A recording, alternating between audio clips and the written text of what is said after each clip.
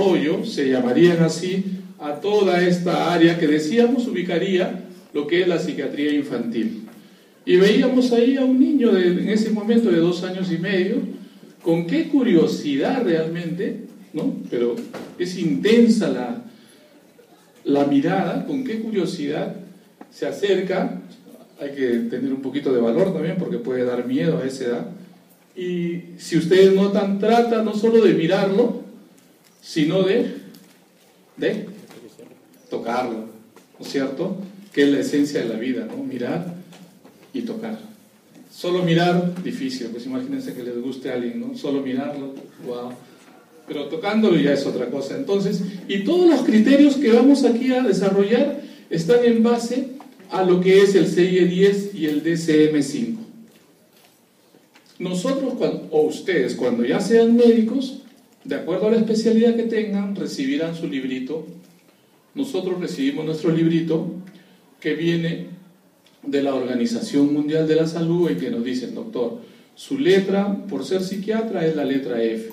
Sus códigos son F-TAN 1, 2, 10, F20, F30, F40, F80, F90, por ejemplo, los trastornos de déficit de atención son F90, ¿no? la, la, enfermedad de la esquizofrenia F20. Entonces, cada especialista, ustedes, cada uno de ustedes va a recibir un libro donde todas sus eh, enfermedades que van a recetar están codificadas internacionalmente, por eso se llama clasificación C y internacional E, y la última que está vigente, la 10. Claro que cuando ustedes se reciban posiblemente ya estén con la C 11. El otro es el manual de la psiquiatría en los Estados Unidos. Nosotros los médicos de Perú no nos regimos por ese manual pero sí por conocimiento lo incluimos para tratar de transmitirles a ustedes, sobre todo cuando hubiera alguna divergencia de conocimiento, qué dice uno y qué dice el otro, ¿ya? ¿Seguimos? Entonces, los trastornos del desarrollo incluyen pues prácticamente desde que el niño nace hasta antes de que cumpla los 18 años. Y ahora ya se está comprendiendo cosas que antes no se comprendían. Hablando del lactante, por ejemplo. Antes se creía, a mí me formaron así, cuando era alumno como ustedes, me formaron que el niño aprende a chuparse el dedo porque es un alto reflejo succional propio del aprendizaje del amamantamiento. Es decir, que el niño de alguna manera, cualquier cosa que se le llevara a la boca, él hacía el acto reflejo de succión porque había aprendido a amamantarse. Así me formaron. Bueno, en realidad han pasado los años y la tecnología les dice a ustedes que eso no es cierto. Para nosotros fue cierto, no para ustedes. Para ustedes, ¿qué cosa significaría el acto de succión eh, de un niño frente a cualquier su dedo, por ejemplo? Para ustedes, más o menos, ¿qué información manejan ahora? ¿Cuándo el niño aprende eso? Díganos. Chicos, respondan nomás si se equivocan, ¿qué pasa nada. ¿Cuándo? Desde que nace, claro. Desde que nace, porque lo primero que hace es, buscar el pezón. Pero justo he dicho que eso no es cierto. Que eso es lo que nos formaron a nosotros. Que el acto de que un niño succione el dedo era un aprendizaje de porque había aprendido a amamantar. ustedes manejan tecnología, en esa época nosotros no teníamos esa tecnología de imagen de, una, de un niño dentro del útero. Ahora ya se sabe que un niño dentro del útero aprende a succionarse el dedo. Todavía no ha nacido, todavía no ha amamantado, pero ya aprende a succionarse el dedo. Y se ve que esa succión del dedo, ¿en qué momentos lo hace? Cuando la mamá está en ciertos estados más tensionales. ¿no? Entonces, como ven, entre el antes y el después uno va aprendiendo y vamos consolidando información. Eso en cuanto a, la edad que incluye el trastorno del desarrollo, ¿no? todo lo que, lo que sería la psiquiatría infantil, que se diría también psiquiatría infantil y del adolescente. ¿Seguimos? Para poder estudiar este campo tan amplio y que abarca tantas áreas, porque acá se incluyen eh, qué sé yo, pues este, en algún momento interaccionan con la pediatría, en otro momento interaccionan con la ginecostetricia, en otro momento interaccionan con los, los docentes de la educación, eh, eh, sobre todo los docentes de educación inicial, los especialistas en estimulación temprana. Hay principios, y se los voy refiriendo. Los principios para el estudio diagnóstico de los trastornos del desarrollo, el primero de ellos es, uno tiene que conocer tiene que conocer cuáles son los momentos más importantes en el proceso del desarrollo. Y para poder conocerlos hay una serie de especialistas que han dado sus aportes a este conocimiento que era un área prácticamente desconocida. Porque, por ejemplo, Gessel, quizás toda la segunda mitad del siglo pasado, el que definió cómo gatea el niño, cómo se mueve el niño, en qué momento patea la pelota, cuándo no, lo hace, en fin, Gessel. Es el que más completo en cuanto a todo lo que es la motricidad del niño. Estela Chess fue la primera que intentó preguntarse el temperamento que, que tienen ustedes, cada uno de ustedes, su temperamento. A ver, los ubico. Se dice que la personalidad la constituyen el temperamento, la inteligencia y el carácter. Esta suma da la personalidad que todos tenemos. ¿Qué es el temperamento? La base genética de nuestras emociones, lo que nos aportaron genéticamente papá y mamá la base genética de nuestras emociones. ¿Por qué él puede ser más callado o él puede ser más hablador o por qué ella es más sensible o menos sensible o alguno de ustedes? Por la base genética del temperamento. Estela Chess hizo el primer estudio serio porque antes de eso, cuando ustedes vean la evaluación psicológica, eh, si alguno de sus hermanitos o ustedes les hicieron la evaluación psicológica, ¿qué les decían? Temperamento melancólico, temperamento flemático, temperamento este, sanguíneo. Es decir, nos estaban dando un conocimiento que lo había puesto Hipócrates, sumando los de ahora, los 2000 años, los, más los 600 antes, casi 2600 años. El padre de la medicina, Hipócrates, definió los temperamentos y los clasificó pues en los cuatro grandes grupos que tres les acabo de mencionar, ¿no? Faltaría solo el, de, el, bilioso o colérico, también llamado así. Pero Estela Chess hizo un nuevo concepto de temperamento a partir de los niños. Si yo durante 20 años, ojo chicos, un estudio longitudinal de 20 años cuesta mucho, claro, fue financiado por la Universidad de Nueva York, pero fue el aporte más importante del siglo pasado sobre el estudio del temperamento infantil. Margaret Mahler, Sigmund Freud, cada uno de ellos dieron un aporte. Vamos a tratar de revisar pedacitos nomás porque la clase, esta parte es principios de, acercarse a este mundo y luego definiremos algunas patologías. ¿Seguimos? El mismo niño, eh, debemos entenderlo con su hermano mayor o con su papá, intentando hacer el ejercicio que ve que está haciendo Gesser y Estela Chess ante la conducta motora de un niño, por ejemplo, vamos a ver, eh, quisiera explicarles esto. Todo lo que voy a ponerles en este momento de las imágenes y los, y los autores es referente a qué han dicho de un niño de dos años. De dos años, chicos, ojo, ojo, esto ténganlo claro, porque quizás en el examen yo pueda preguntar sobre un niño eh, que no tenga esa edad y que tenga otras características, pero de lo que estamos precisando acá es de esto, así que a partir de ahí, por lo menos por exclusión, ustedes podrían responder. Dicen ellos, en cuanto a la conducta motora, un niño de dos años ya corre perfectamente sin caerse, por ejemplo. Ya se puede esperar que ese niño corra perfectamente sin caerse. Por supuesto, si tuviera pie plano, semiplano, cualquier precao, precao, cualquiera de las variantes de alteración, eso ya nos, nos cambia el panorama, pero estamos hablando en una situación general. Este niño ya da patadas a balones grandes. No se trata de, que, de, ponerle balones un poco grandecitos a esta edad para que él no no, no patee en falso y pueda divertirse pateando, ¿no? Y dice, sube y baja las escaleras solos.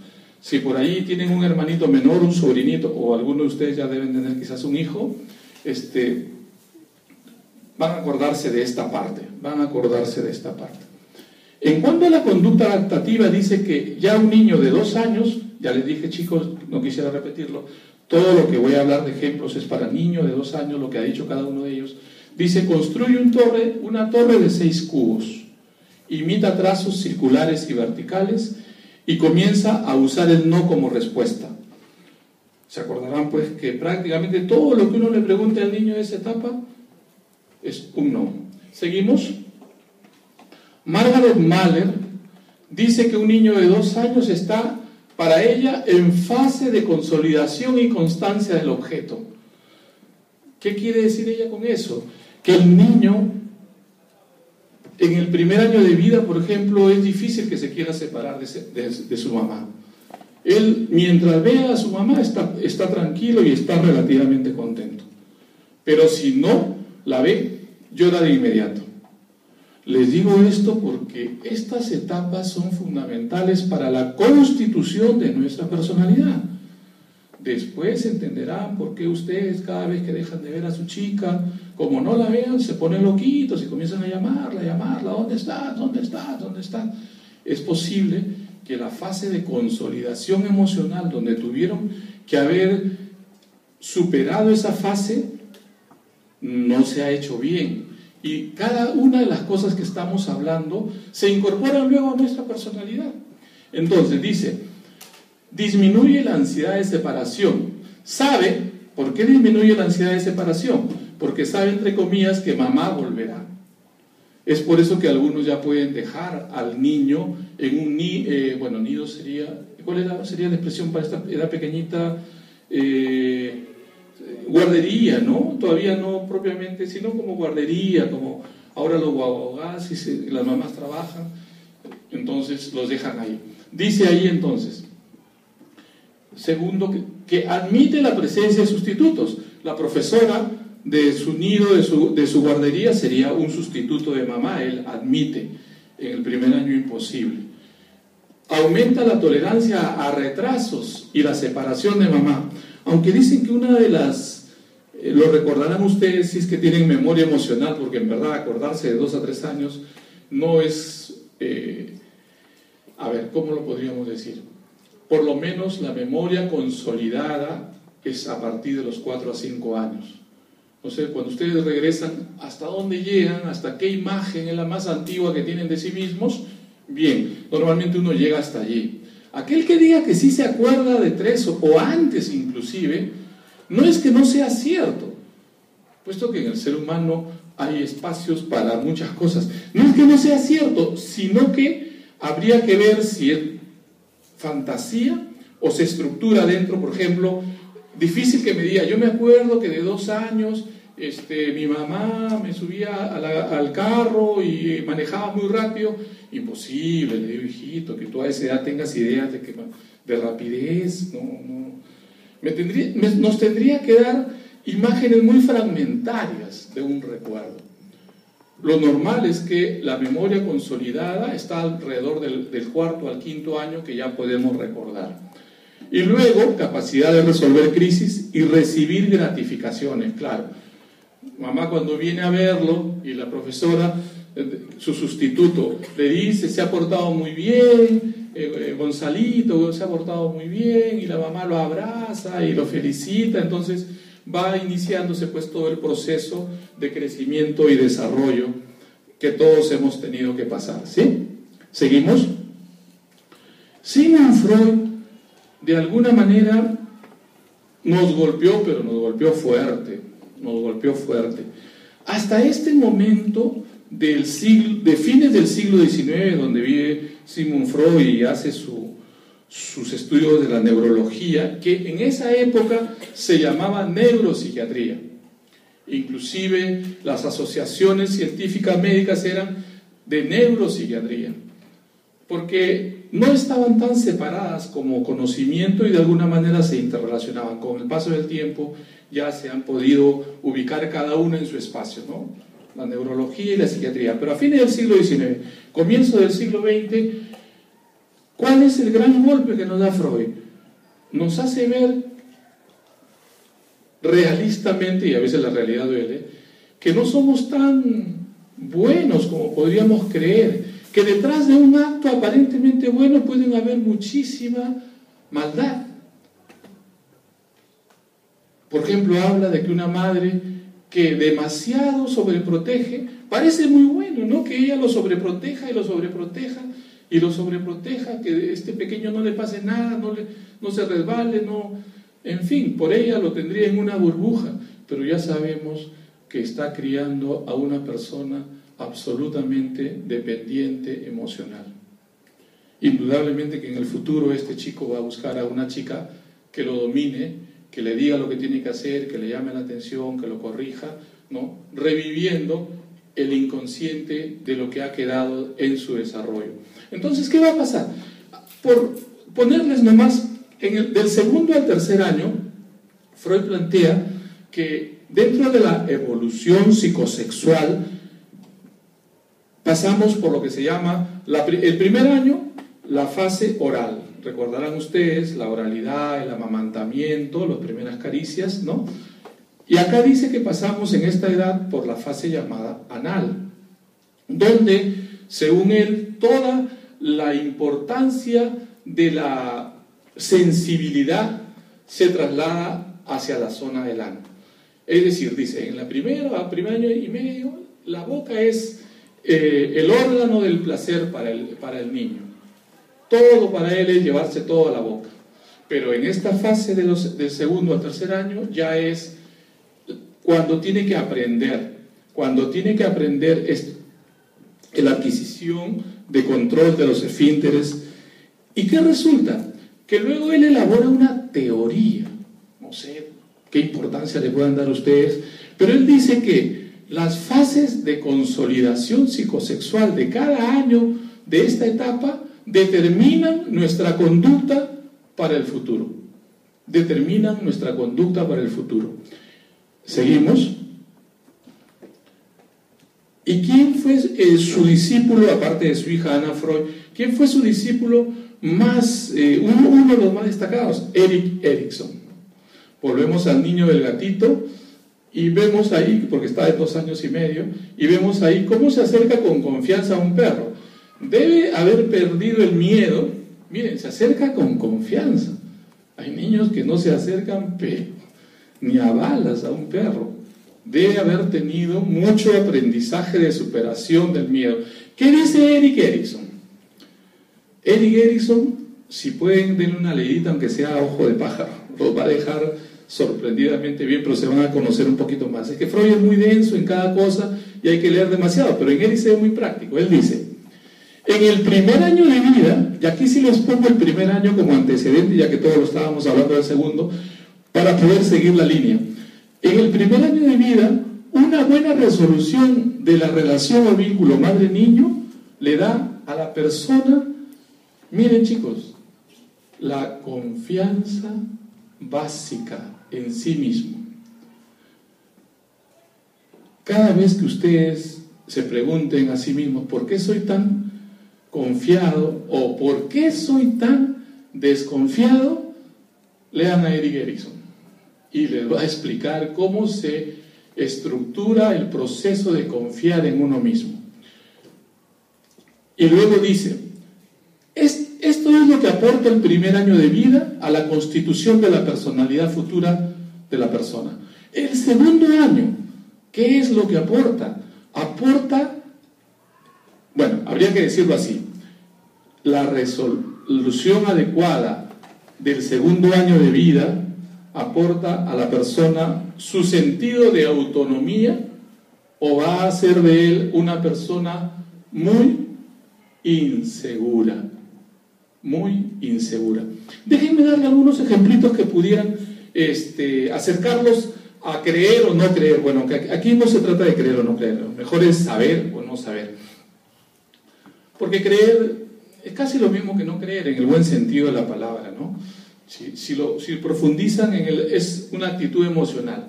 Y lo que estamos tratando es ir a los fundamentos de lo que se está afirmando. Dice él, por ejemplo, vamos a suponer, para ya no mencionar los chicos de este lado, vamos a suponer que acá nuestro, nuestro futuro coleguita llega a, nace, acaba de nacer, recién acaba de nacer. Y bueno, pues si acaba de nacer, ¿qué es lo primero que va a hacer? Llorar. Llora, no le queda otra, ese es un lenguaje, llora. Y al llorar es porque posiblemente se ha estado en toda la lucha del, del parto, todo el esfuerzo del parto, ¿qué van a hacer con él? Lo van a amamantar. Entonces el primer contacto ante su llamado vital es el amamantamiento. Vamos a ponernos en dos posibilidades para que entiendan por qué Eric, Erickson habla de confianza y desconfianza básica de la resolución del primer año. Le dice, le toca a una mamá recontra chévere, recontra así chévere, que lo ve llorando y se acerca corriendo, no lo deja ni llorar mucho y ya lo está cambiando, ah hijito, estás este, mojadito también, lo va cambiando, tiene frío, y, y comienza a cambiarlo rápido, y lo hace pasar del frío al calor. Y luego, bien cambiadito, lo amamanta. y no lo amamanta así nomás, no, tipo, ya pues mamá, sino mi hijito, mi, no sé cómo le llame, mi gatito, ¿no? las mamás tienen muchas expresiones afectuosas y lo empieza a arrullar ahí. ¿Qué va a suceder con él? Según Eric Erickson, este proceso tan simple determina que la persona sienta confianza básica en sí mismo, que cuando dice algo o intenta algo, sabe que lo puede, va a ser bien recibido. ¿Qué pasa si al revés nos ponemos en la segunda opción? Que por varios motivos mamá está muy sobrecargada de tareas, porque a veces hay que entenderlas un poquito también, no es que sean tan crueles, sino tienen mucho que hacer. Y él está que llora y llora. Y la mamá ya está pues hasta fastidiada con él, ¿no? Este hijo me ha tocado llorón, como el otro no lloraba a su hermano, pero este me fastidia, no me deja hacer las cosas. O sea, ya comienza un bombardeo emocional contra él. Bueno, cuando se desocupa, pues ya para eso él ha estado llorando hace rato, llega y los amaquea, ¿no? ¿He visto las mamás cuando están con cólera con el bebé, ¿no? ¿qué te pasa? Y lo empiezas a maquear. Ahora ya se sabe que maquear a un bebé es causarles micro, diga, micro, microinfartos por el golpe de la masa cerebral contra la calota craneana, ¿no? Entonces hay gente que hace pues tremendos movimientos contra el bebé. Entonces empieza a llamarle la atención, empiezas a maquearlo, empieza a darle de mamar con toda la rabia, ya, apúrate. Y claro que posiblemente él como bebito, como está que se muere de hambre, pues empieza a mamar con desesperación también. Y posiblemente en esa desesperación muchos bebés muerden y el pezón materno es bien delicado. Entonces ahora la mamá, aparte de la cólera, le va a tener rabia. ¿Por qué? Porque le está haciendo doler. Ya el amamantamiento no tiene nada de bonito como en el primer caso, de idílico, casi romántico. Ahora más bien hay dolor, de la cólera a la rabia y por supuesto pues que lo vas a maquillar terrible, ¿no? Y para ella que deje ya de mamar lo más rápido posible, en fin, mejor. Y si puede, posiblemente ya no le dé el peso a la teta del, del. Entonces, esa estructura de rechazo va a pasar en él según Eric Erickson, a ver, ahora sí, atiéndanme un segundo. Esto no lo he podido poner en la lámina, pero atiéndanme. La vida vibra. Entonces, la primera forma de vida, inclusive unicelular, se va a manifestar por vibración y movimiento. Entonces, él va a, a sentir la vibración. Solo tiene días de nacido, así que él no tiene para estructurar muchas cosas, pero siente la vibración negativa el conjunto de vibraciones que se organizan se transforman en sensaciones. Entonces él pues, podrá saber por qué el frío o el calor es tan bueno o malo para él. Hay gente que cuando viene el frío, ay, qué sensación tengo, a mí me encanta el frío, el invierno porque me abrigo y me siento calientito. Claro, posiblemente está rememorando estados en los cuales, teniendo frío, su madre fue muy acogedora con él, lo abrigó, lo amamantó, pero hay otros que más bien detestan el frío, ¿no? ¡Ah, qué, asco! El frío, tengo que estar ahí, a mí me gusta el calor, yo soy chévere, el calor, el calor, el frío lo rechazan. Entonces, de la vibración va a pasar a la sensación. Las sensaciones estructuradas se organizan en emociones, en emociones, ¿no? Estoy alegre, estoy triste, emociones. Antes estábamos en sensaciones, tengo hambre, tengo frío, tengo sed. Ahora estamos en sensaciones organizadas en emociones. Las emociones organizadas se dan o se estructuran en sentimientos. Entonces, cuando ustedes van viendo por qué siento así, por qué siento de esta manera, ustedes podrán tener el camino y van a llegar, aunque no lo crean, van a llegar a comprenderse un poquito más. Y por último, los sentimientos organizados, eso es hemisferio derecho, dan base a los pensamientos. Porque aunque no lo crean, pensamos de acuerdo a cómo sentimos. Cuando un gran pensador como Nietzsche eh, da toda su, su, su, obra pues maestra, así habló Zaratustra, donde refiere Dios ha muerto y ya no hay que creer en nada, no es menos cierto que algunos olvidan que su madre lo abandonó. ¿no? Entonces dicen, ¿habrá tenido que ver esto, esta desconfianza básica que tenía Nietzsche en las personas, tanto que ustedes saben que terminó loquito, ¿no? Caminando por las calles de Europa hasta morir. Y como segunda, segundo hecho, la mujer que más quiso amar, ¿no? También lo, lo rechazó.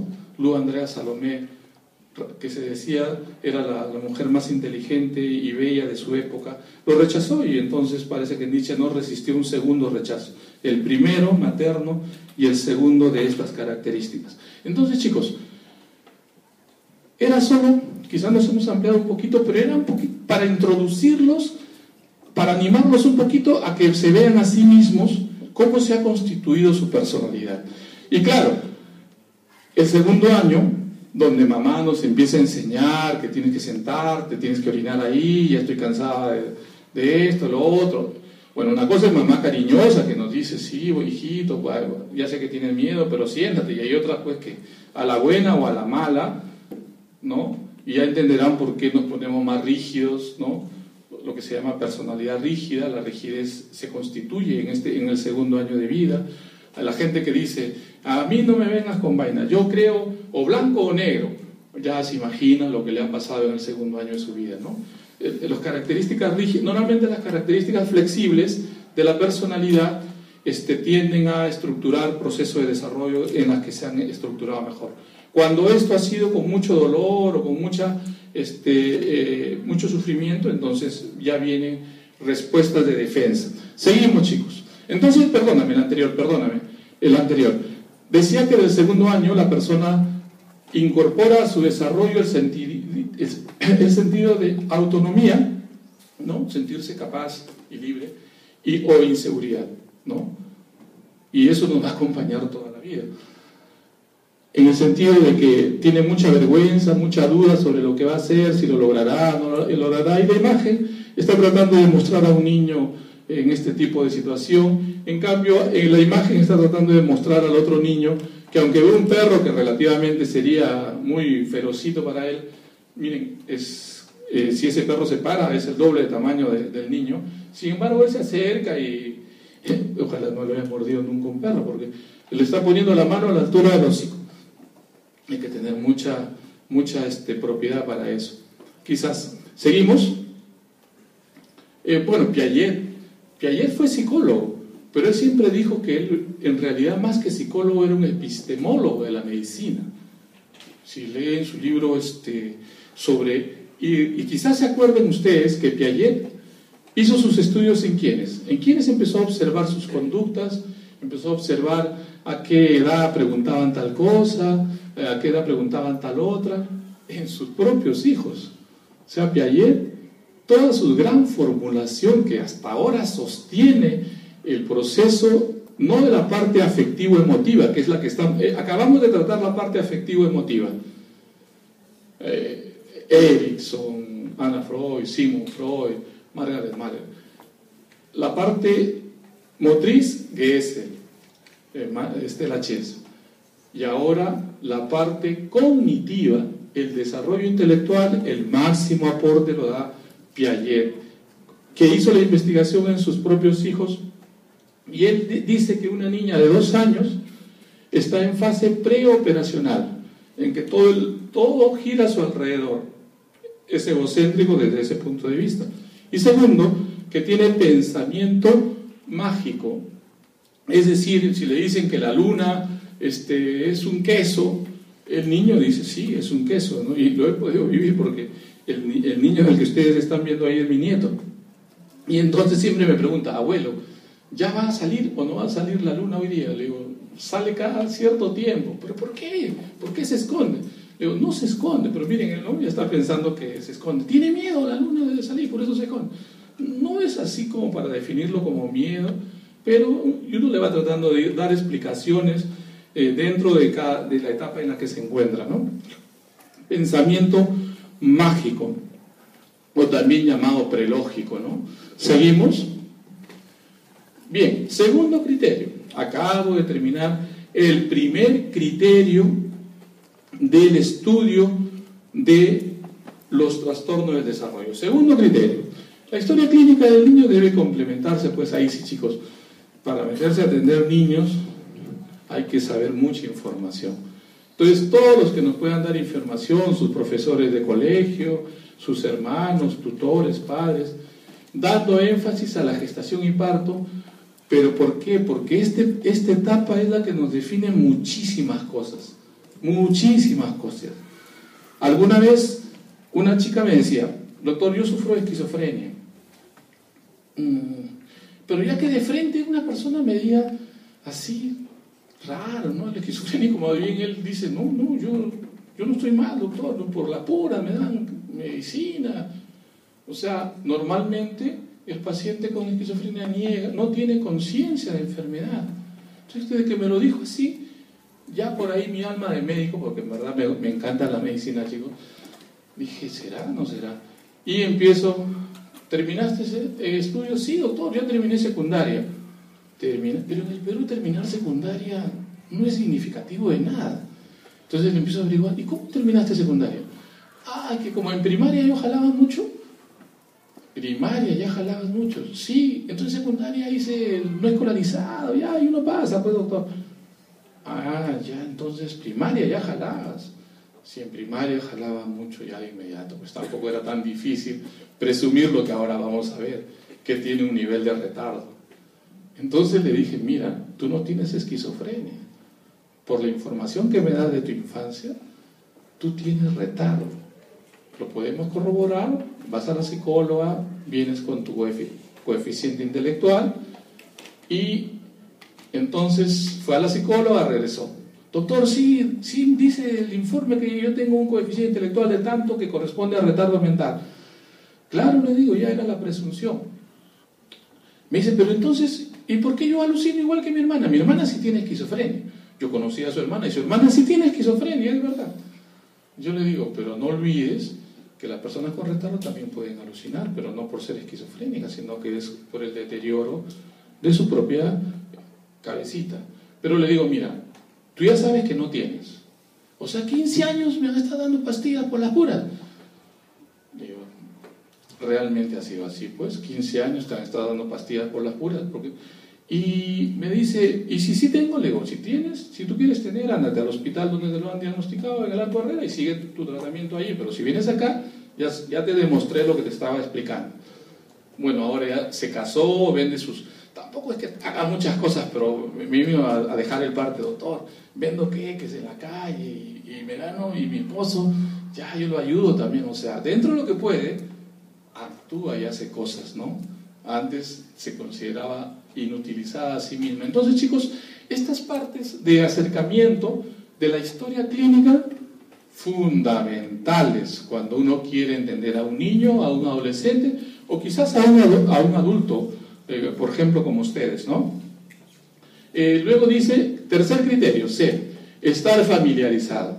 Acá hay que leer mucho, chicos. Créanme que hay que leer porque el campo es tan minado que uno comete un error y ese error lo lleva a otro error y wow, terrible, terrible, chicos. No se imaginan qué tan terrible puede ser. Pero creo que ustedes, como yo, aman la medicina. Nadie les dijo carguen esta cruz. Solito dijimos ya. Y al amar la medicina, pues somos, nos queremos ser un médico de cuerpos y almas, ¿no? Entonces, les doy otro ejemplo. Aquí nomás con eso me ha pasado con el grupo de ustedes. No sé si algún está del grupo de Loaiza, eh, alguno de ustedes está por acá. Este, fuimos con el grupo de ustedes, me parece que fue con el del día martes.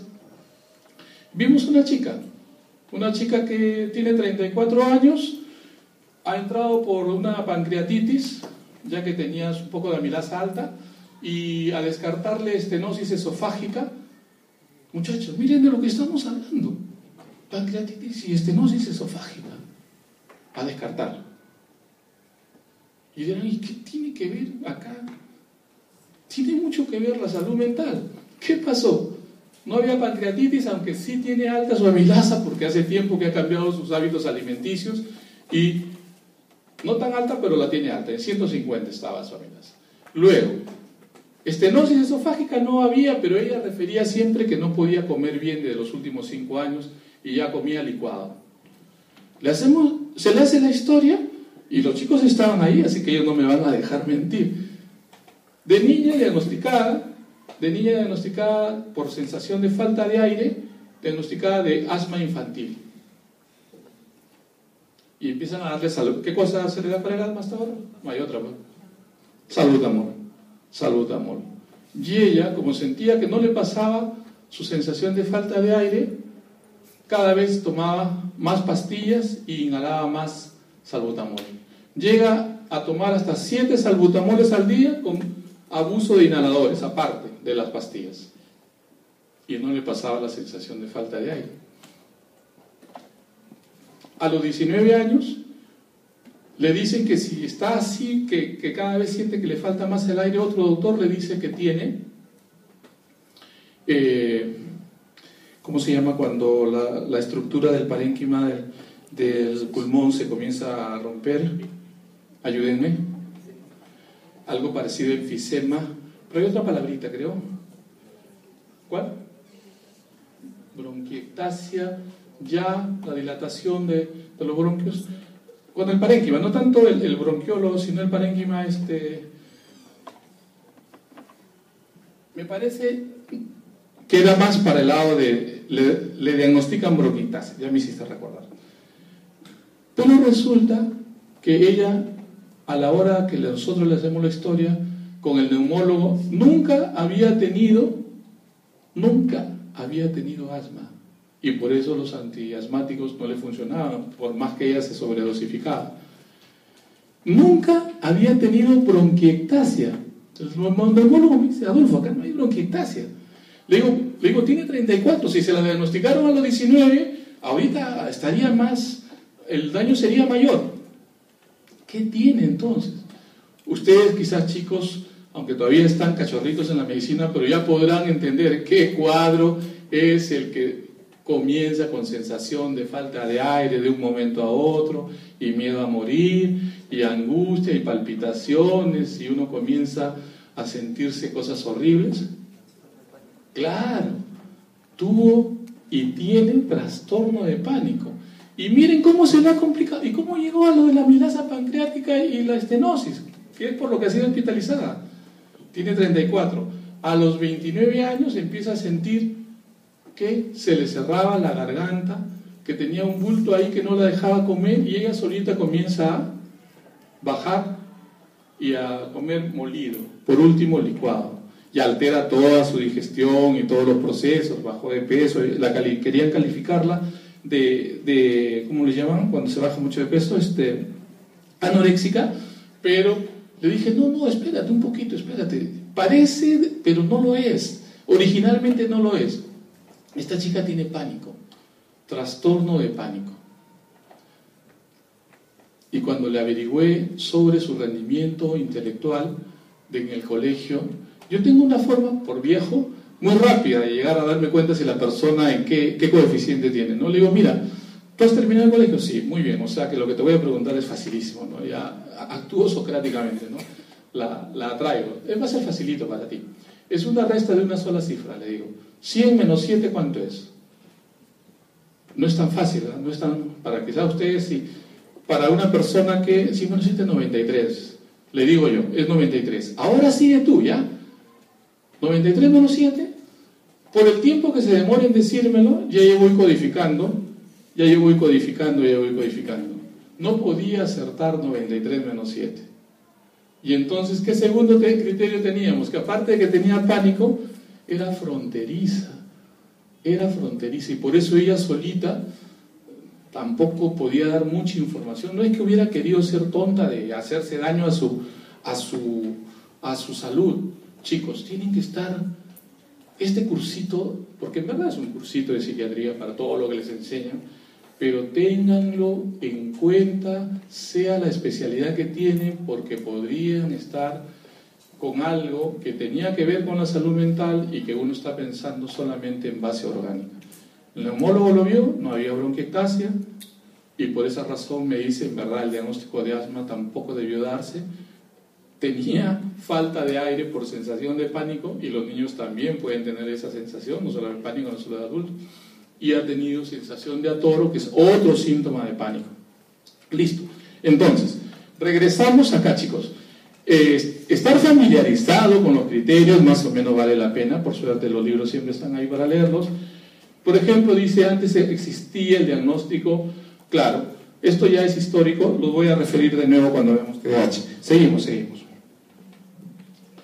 Bueno, saber antecedentes patológicos, familiares, adicciones, depresiones y cosas. Ahora, que se ha hecho tan común, por ejemplo, decir, ustedes saben que la marihuana la van a legalizar de todas maneras, esa es una corriente mundial. Primero en Europa, ¿no? Holanda hace ya más de casi 15 años, y luego va avanzando ya en Sudamérica, Uruguay, México también, no, no, Uruguay, y luego, pero por mí bacán en todos los efectos positivos médicos que se va a poder lograr, ojalá sea la investigación va a ir hacia todo lo positivo. El dilema es hacia todo lo negativo, ¿no? Ese es el dilema.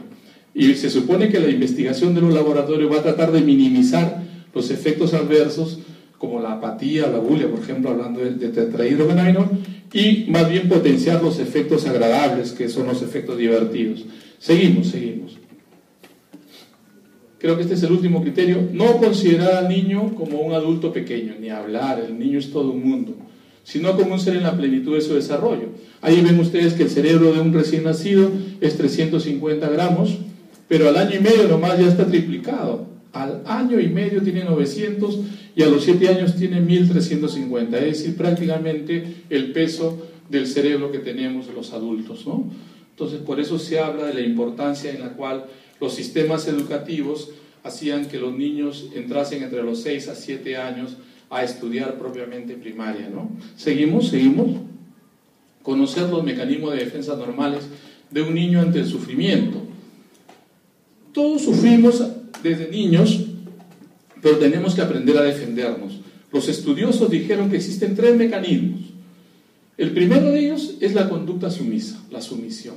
Ustedes lo ven en los animalitos, ¿no? Un animal a rabiosos, dos, qué sé yo, leones, lo que ustedes quieran, perros, se pelean fuerte, pero si uno ve que está perdiendo, ¿qué hace? Hace efecto de sumisión.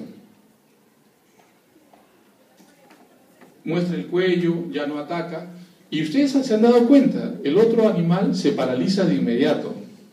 ¿Cómo es la, neuroquímica de, de los cerebros, no? De normal uno por rabia, yo creo que el hombre sí es el único que seguiría atacando, cuando, aunque el otro ya esté sometido, ¿no? Porque, bueno, nuestra, eh, digamos, los procesos son diferentes. Pero en el animal casi siempre se detiene cuando el otro se rinde. Y hace que se vaya, se va, se va, se vaya. Con eso para él terminó todo, ¿no? Entonces, la sumisión, chicos, eh, el niño obedece por miedo. El gran dilema es cuando al crecer estos, este, este mecanismo de defensa que le sirvió de niño, ¿no? Es como cuando el papá le dice, este, no te muevas y no te castigo. Hay niños que no se mueven por nada, pero es porque tienen miedo al castigo, ¿no? Les habrá pasado de niños a ustedes. Si hacían conducta sumisa, de hecho, que su hermanito se movía, pero ustedes no se movían, o viceversa. Ustedes eran muy inquietitos y su hermano decía, no, yo no me muevo, acá me siento y ya me han dicho que no me mueva. El segundo, la segunda defensa es la agresividad. Es lo opuesto al anterior. Cuando al niño le dicen algo y más bien se torna desafiante, se torna rebelde. Y es el tipo de niño que de hecho al crecer va, a querer independizarse cuando antes, ¿no? Cuando a veces atiendo a algún adolescente y le digo, ¿qué estás haciendo ahora? 15 años, ¿no? Ah, doctor, hago Muay Thai y cosas así. Ah, eso, qué bravo, le digo, pero así, ¿para qué tanto? Pensaba yo, ¿no? Querrá defenderse, querrá, o lo fastidiarán en su colegio, bueno. No, me dice, doctor, al primero el que le va a sacar la mierda es a mi papá. Yo soy papá, ¿no? Yo, pucha, mi hijo es si se le ocurre eso. Y claro, claro, este chico viene acumulando rabia desde niño, posiblemente su padre es muy maltratador o humillante, porque a veces las palabras también maltratan, no solamente de golpe, y entonces puede haber sufrido mucho. ¿no? Y el tercero, el que hace lo que podríamos decir entre comillas neutral, ahí le faltó las comillas, porque el niño parece, dice, qué bien que diga parece frío, no es ni agresivo ni sumiso. ¿No? Si uno le dice, oye, mira, los niños están bailando ahí o están jugando, entra al grupo. No, le dice, no, no, yo voy a mirar nomás. Por más que la mamá lo quiera empujar, ese niño no entra, no participa. Y casi siempre desde que aprende a mantenerse así, toda su vida se mantiene así.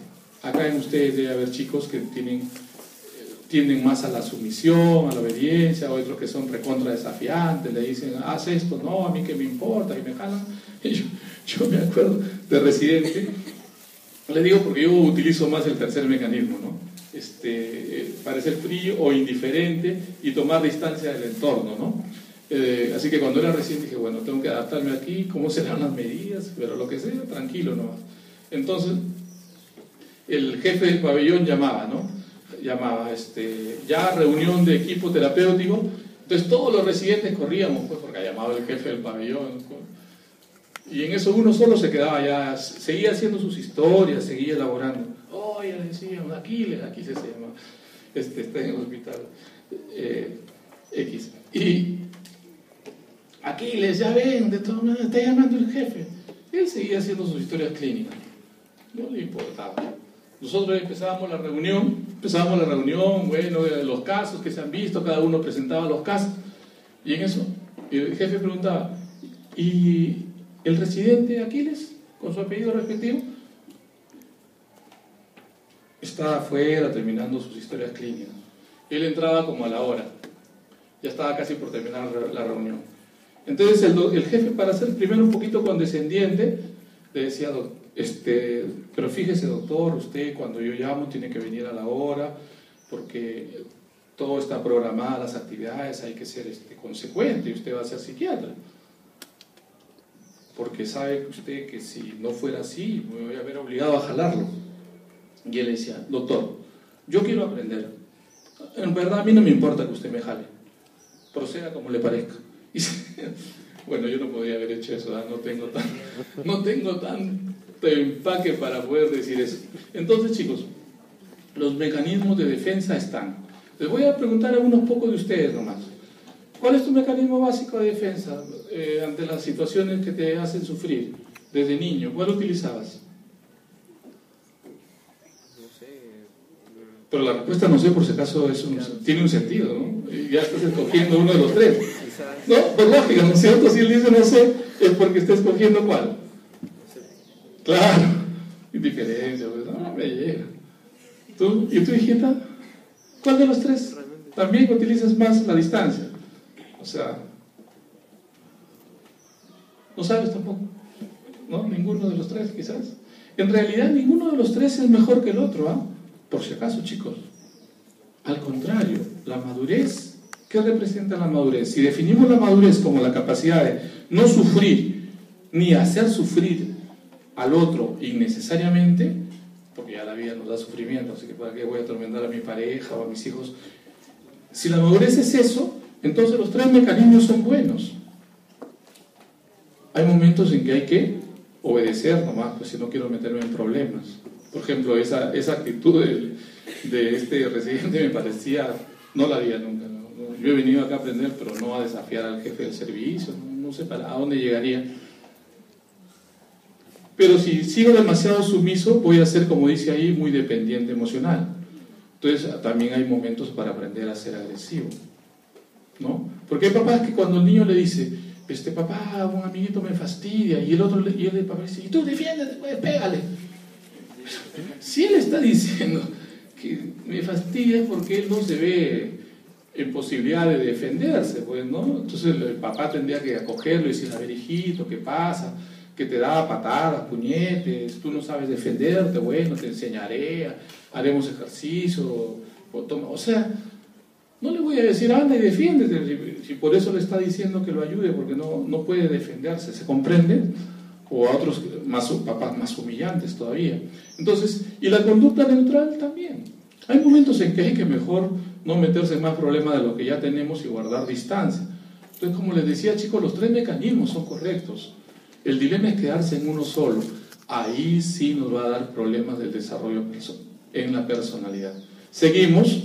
Ah, ya, ya. Eh, por, favor, eh, lo repetimos. Decía abajo, tres hermanos, tres hermanitos sería, porque son niños, eh, les avisan que su padre alcohólico está viniendo a la casa. Los tres sufren. Los tres hermanos sufren porque su padre es alcohólico. Pero imagínense que uno de ellos tiene la conducta tendiente más a la obediencia, a la pasividad, a la sumisión, a la dependencia emocional. Si le dicen a él, tu papá viene por el parque y se ha caído, está borracho. ¿Qué creen que va a hacer este niño? ¿Qué va a hacer? ¿Qué creen que va a hacer? Es sumiso, sí. Se va a buscar, claro.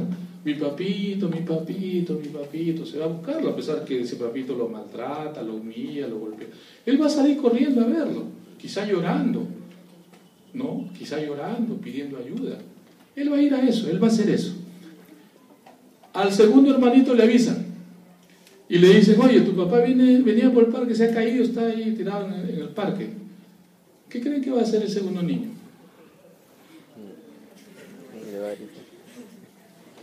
Se caiga, que se mate de una vez. O sea, él más bien va a responder con mucha cólera, con mucha rabia. Y el tercero, cuando le dicen, oye, tu papá está borracho, se ha caído en el parque. ¿Qué creen que va a hacer? Con él no es. Con él no es. Si papá entra a la casa, él se sube, él se mete a su cuarto. Y si papá sube al segundo piso donde están los cuartos, él se baja a, ver tele en el comedor. Siempre va a guardar su distancia. ¿no? Ya se imaginan el tipo de chica que le corresponde a cada uno de ellos, ¿no? Porque si no, mucha va a ser terrible la situación también que se va a presentar. ¿Seguimos? ¿Seguimos?